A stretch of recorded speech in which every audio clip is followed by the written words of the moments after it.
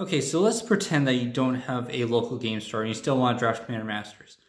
You are at Walmart, and you see a box of these on shelf. You know, the um, Commander Legends Psalms 3 Booster Draft Pack are a bunch of these hanging on the rack. Which one do you choose? Well, let's face it, you know, this is probably better value because, of course, you know, it's twenty nine ninety two, but these are eleven forty two each. And, of course, that brings you up to, like, 3, 4, 26. And that's before tax. Anyways, let's imagine that these were both the same price. Which one will you get now? Well, let's crack these open and see, you know, which has the better pulls. I'm betting it's probably going to be the one on the right here. All right. So three packs of Commander Legends. Is it worth it to buy three individual packs or one big pack with three packs? Let's have a look.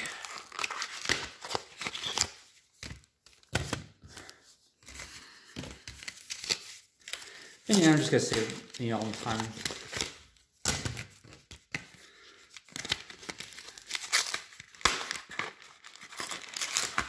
Kind of takes to open individual packs, at least. Alright, so three packs of Commander Legends, all bought individually. Are there good cards in here? Let's find out. I think uh, I've done um, openings different times, not not recorded all, but um, I've opened three packs before, and they usually have good pulls. I think usually at least one mythic with like the draft packs. So yeah, but who knows? We might luck out right now with just three packs.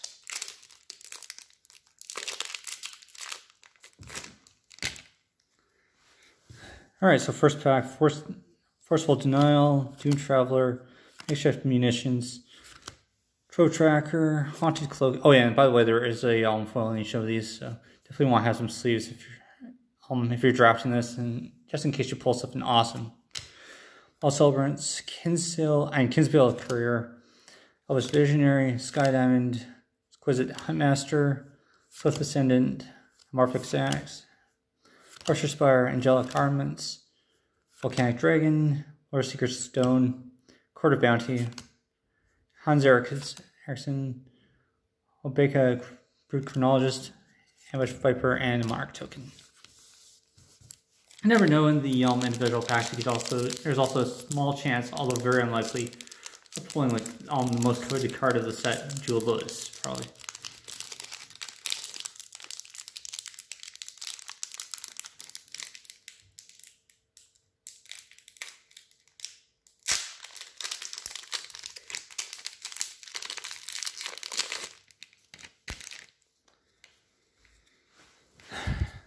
Done operative. Now, of course, you know, cards will vary by pack, so, you know, don't expect to get everything that I show.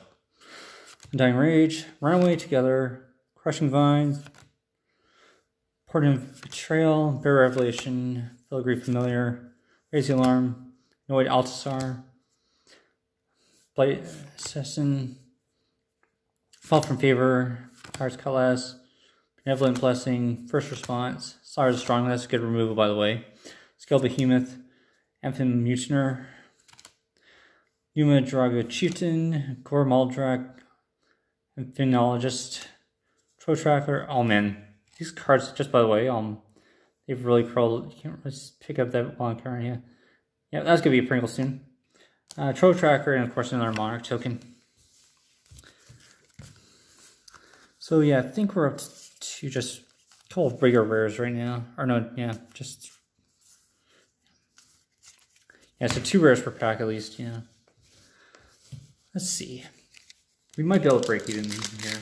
I don't know.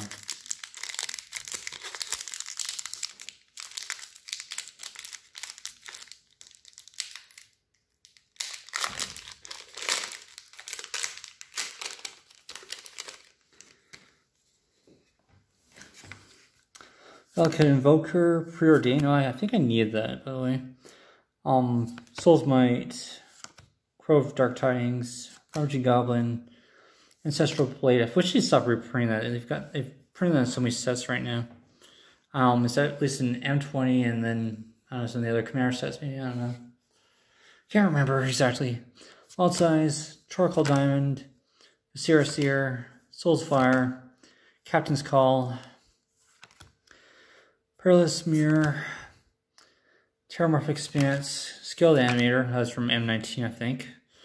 Um, Arcane Signet, Ordeal of Nylea, Jeska's Will, Brinelin, the Moonkraken, Carthumless.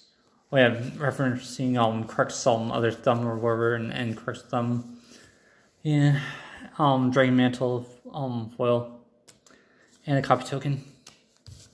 So yeah, I mean definitely those are, are best. So don't buy individual packs if you're planning on drafting unless you have to. Like you know, like your Walmart's all sold out of these, which I think I think I know how to open these. I think you're supposed to open them from the bottom because this, this is almost the same packaging as like all Modern Horizons draft packs as well. So yeah.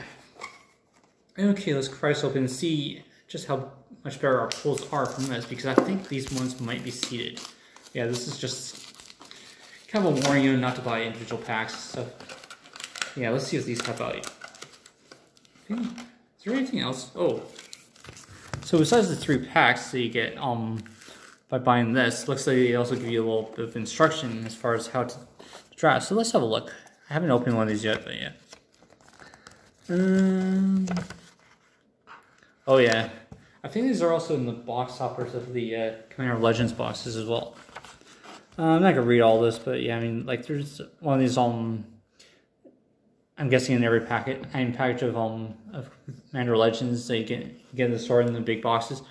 But yeah, basically just tells you about how to do the draft and how to build your deck and about the Prismatic Piper, which everyone has access to, and then rules for Commander and like 60 player. And of course, yeah, I mean, like, like this is directly from the booster box.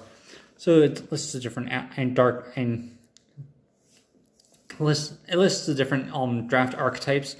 Um, something definitely want to avoid is um drafting more than two colors for sure. Because if you draft three colors, then your deck's virtually unplayable. I mean, this has happened to me, or happened to someone else. Um, I was at a draft one time. You know, the one I played was um um, Boros, and then of course you have someone else all try to play Jund, and and their deck didn't work too well. So there's enough of that. All right, so there should probably, probably be at least one mythic in here. I mean, I think they're kind of seated, but um, well, let's have crack them open and see what we get.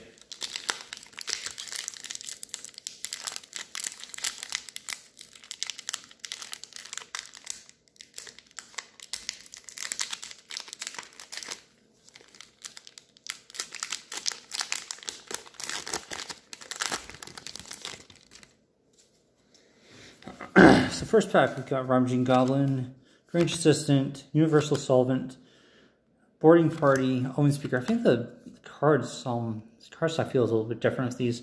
Yeah, I don't know. Sparring Roar, Seer's Lantern, Phyrexian Rager, Fiery Cannon, Skywiller Shot, Finclade Fugitives, Maelstrom Colossus, Commander Sphere. These things are kind of sliding, you probably because of the coding. Uh, Codex Strider, it's a good card from Mill.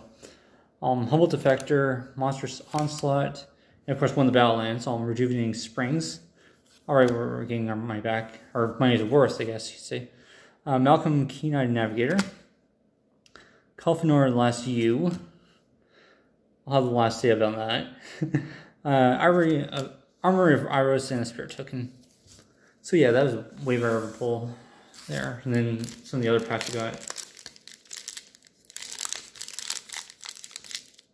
I think, yeah, these um, three packs, and they kind of give you everything you need for draft besides basic lands. Definitely, if you're hosting a draft, besides these, you definitely want to have some basic lands around.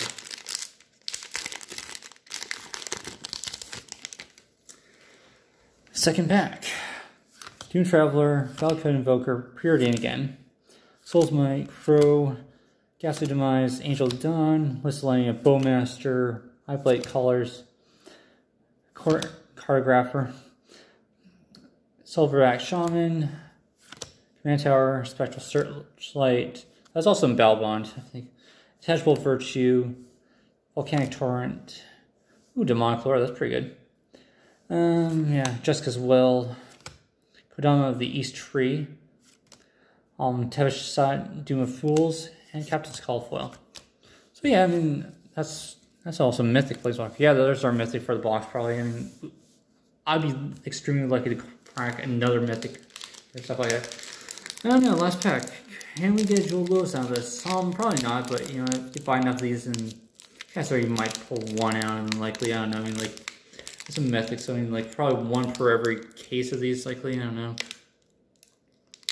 But yeah, alright, this is looking pretty good for, you know, not um, buying like individual packs. So yeah, don't be an idiot and buy individual packs unless they're sold out of these three packs. Defiant Salvager, Portent of Betrayal, Trove Tracker, Elder Beast, Colin Trailblazer, Sailor of Means, Elvish Doomsayer, Ezra Fleet Admiral, that's Bridge Patrol, Sentinel Spider, Founder Inspector, Lumigrade Gorgal, Gargoyle, Armillary Sphere, Valve of Lightning, for, Thirst for Knowledge, that's classic for Artifact decks, Ordeal of Nylea, Soulfire Eruption, ooh, that's another mythic. So yeah, I was right on the nose there on you know, saying you could probably crack two mythics easily. Armix Filigree Thrasher, Nostro Voice of the Crags. Oh, and we've got one of the uh, special Ashwell um, cards. Slurk All Injusting. And a copy token. So something I'll show you quickly for um, sign off is the fact that with the uh, curved foils and the uh, Ash foils, they don't curve like the uh, other ones. Like I've been keeping these in a box lately, but yeah. So we'll just put this, push these aside. These ones are still straight. I've actually had these out for a little while and stuff like that. So these, and of course I've also got them sleeves, but you know what I don't have in sleeves? The uh, shoot, where to put it now?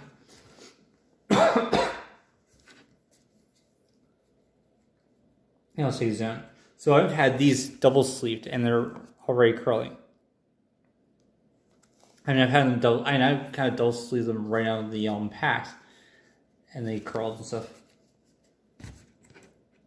Um, where did I put this on? Yeah, this is just showing how curled they get if you leave them out too long and stuff like that. These Ash foils I've had for a while now, they are straight. They're straight as a board. So yeah. I think Wizards really needs to fix their foil problem because I'm like if these can stay straight for very long, there's no excuse, you know, not to um, deliver the same quality from this to this, you know, regular foils. So yeah, hopefully, you know, um, next year when Kaldheim releases, they'll have fixed that problem, you know, seeing how how much potential they have with Fallen Commander Legends, you know, and their foils. Yeah, until then, I'll see you later.